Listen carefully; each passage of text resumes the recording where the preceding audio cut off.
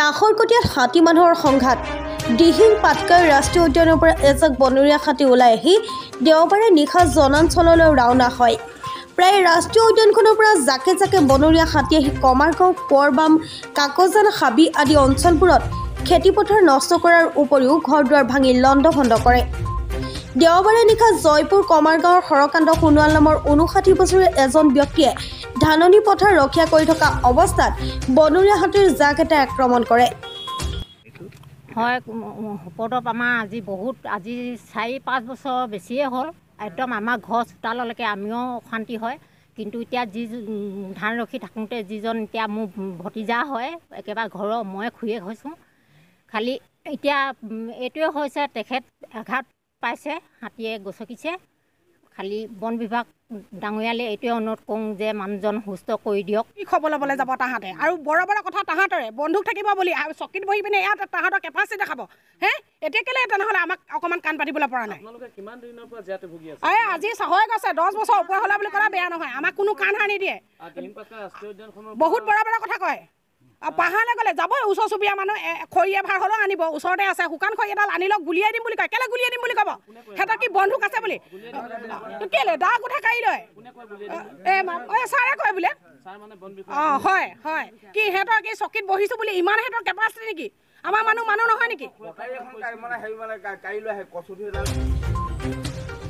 হৰকান্ত সোণোৱাল নামৰ ব্যক্তিজন বৰ্তমান সংকটজনক অৱস্থাত উন্নত চিকিৎসাৰ বাবে অসম চিকিৎসা মহাবিদ্যালয়লৈ প্ৰেৰণ কৰে। ঘটনাৰ সন্দৰ্ভত জয়পুৰ বনাঞ্চলিক বিষয়া কাৰ্যালয়লৈ খবৰ দিয়াৰ পিছতো কোনো এজন বিষয়া ঘটনাস্থলীত উপস্থিত নোহোৱাত ক্ষোভ প্ৰকাশ কৰে স্থানীয় গাঁওবাসীয়ে। প্ৰায় দুই শতাধিক ৰাইজে জয়পুৰ বনাঞ্চলিক বিষয়াৰ কাৰ্যালয়ত ৰৈ থকাৰ পিছতো বনাঞ্চলিক বিষয়াজন উপস্থিত নোহোৱাত পৰিস্থিতি উত্তপ্ত হৈ পৰে। অতি শীঘ্ৰে আঘাতপ্ৰাপ্ত লোকজনক ক্ষতিপূৰণ দিয়াৰ লগতে বৃহত্তৰ অঞ্চলটো বন্যপ্ৰাণীৰ পৰা সুৰক্ষা পাবলৈ স্থায়ী সমাধানৰ দাবী কৰে। আমাৰ গাঁৱত মানে বনৰীয়া হাতীয়ে উপদ্ৰৱ কৰিছিলে। উপদ্ৰৱ ক্ষেত্ৰত মানে কি হ'ল আমাৰ এজন গাঁও বিশেষকৈ দৰিদ্ৰ পৰিয়ালৰ মানুহ এজন আঘাত হৈছে।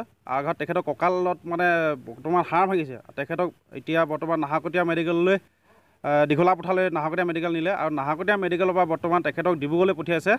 গতিকে এই ক্ষেত্ৰত আমাক জয়পুৰ বন বিষয়াই এটা সম্পূৰ্ণ প্ৰতিশ্ৰুতি দিব লাগে যে য'ত নেকি যিজন এজন দুখীয়া মানুহৰ ঘৰত এজনী ছোৱালী আছে য'ত নেকি সিহঁতৰ ঘৰত চলা মেলা অসুবিধা হয় এই ক্ষেত্ৰত মানে কি হ'ল আমাক বন বিষয়া এই ক্ষেত্ৰত তেখেতৰ সম্পূৰ্ণ মেডিকেলৰ ব্যৱস্থা আৰু ঘৰখন চলোৱা ব্যৱস্থা যে আজি আমাৰ কৰবাম কাকজান হাবি গাঁৱৰ হৰকান্ত সোণোৱাল নামৰ এজন ব্যক্তিক দিহিং পাটকা ৰাষ্ট্ৰীয় উদ্যানৰ পৰা বনৰীয়া হা হাতীৰ জাক এটা আহি আমাৰ আঘাতপ্ৰাপ্ত কৰে।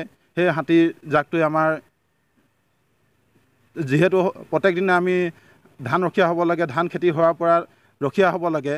ৰখীয়া হোৱা হৈ থাকোঁতে আমাৰ ৰখীয়া হৈ থকা এজনক আঘাতপ্ৰাপ্ত কৰে। সেই ব্যক্তিজন অতি গুৰুতৰভাৱে আঘাতপ্ৰাপ্ত হৈছে।